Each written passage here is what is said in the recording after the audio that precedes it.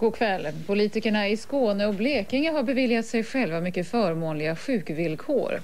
En granskning som Sveriges Television i Malmö gjort visar att de flesta politiker förhandlat bort karensdagar och sjukavdrag.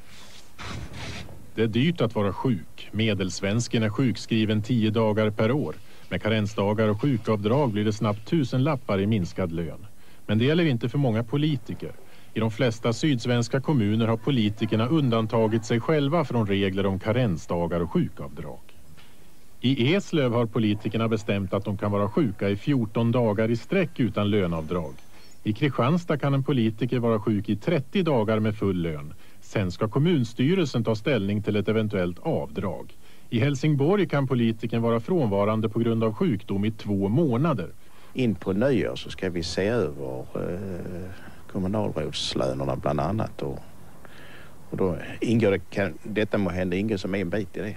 Men Helsingborgspolitikerna har inte de mest fördelaktiga reglerna. I Karlskrona kan en politiker vara sjuk i tre månader utan löneavdrag. I Ystad har lönekontoret instruktioner om att inte bry sig om när politikerna är sjuka. Nu ikväll anhölls en 35-årig man misstänkt för att ha anlagt branden på varuhuset Pub i Stockholm i förrgår. 35-åringen som angav sig själv har erkänt. Och i förmiddags utbröt en brand på Åhléns i Sundsvall. Varuhuset rökfylldes och fick utrymmas men ingen skadades. Branden var anlagd uppger polisen.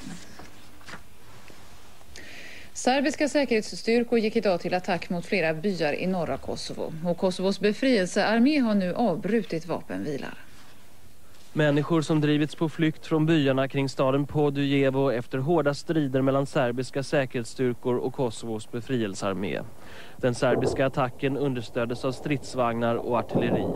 Enligt uppgifter från kosovalbanska källor till Rapport ikväll pågick våldsamma strider längs ett 17 kilometer långt frontavsnitt. Bilderna är från gerillans skyttegravar utanför Podujevo. Serberna hävdar att dagens operation är ett försök att gripa dem som mördade en serbisk polis i måndags och att flera gerillasoldater har dödats idag. Uppgifterna har inte kunnat kontrolleras eftersom serberna hindrade OSSEs observatörer från att besöka området. Observatörerna hotades till livet av säkerhetsstyrkorna.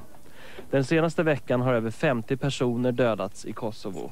Striderna visar att den vapenvila som förhandlades fram i oktober inte längre existerar och Kosovos befrielsearmé förklarade idag att den är meningslös.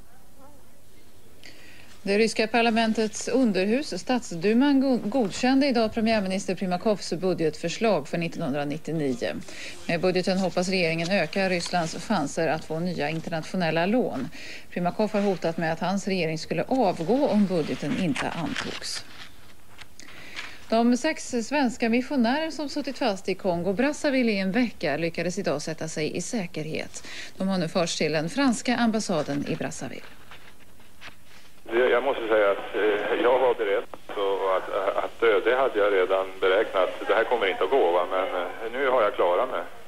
Sen ett par veckor rasar mycket hårda strider mellan den nuvarande och den förre presidenten i Kongo-Brazzaville. Bilderna har tagits från grannlandet Kongo-Kinshasa och visar striderna mellan miliserna Cobra och Ninja i huvudstaden. Striderna är så våldsamma att inga utländska tv-bolag vågat sig dit. De svenska missionärerna evakuerades idag av den franska ambassaden med hjälp av militär eskort från förorten Mansimou där de för en vecka sedan överraskades av striderna. Vi var precis då vid, vid frontlinjen eh, så att eh, det var ju där striderna, eh, eller mycket av striderna fanns i alla fall.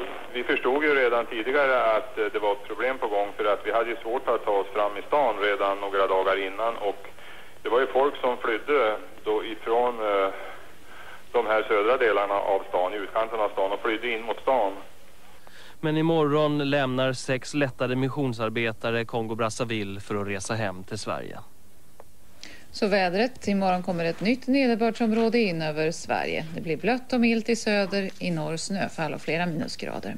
Vi ska också varna för mycket halt väglag i stora delar av landet i natt.